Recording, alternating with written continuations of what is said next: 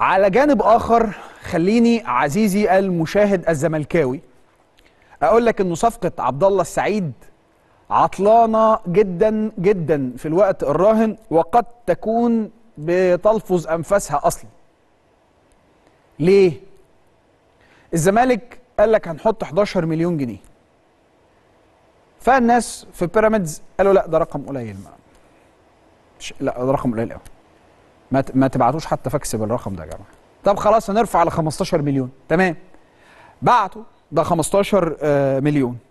تم نقل الطلب ده أو العرض ده للملاك ملاك النادي. ملاك النادي بالظبط قالوا عايزين أيوه أيوه مليون ونص دولار علشان يسيبوا عبد الله السعيد الزمالك راح حط نقطة وما رجعش تاني. حط نقطة وما رجعش تاني. هل ممكن النقطة تبقى فاصلة ونكمل الكلام؟